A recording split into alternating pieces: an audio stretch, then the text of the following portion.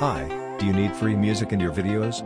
Then you need to check out Scandinavianz at www.soundcloud.com slash Scandinavianz.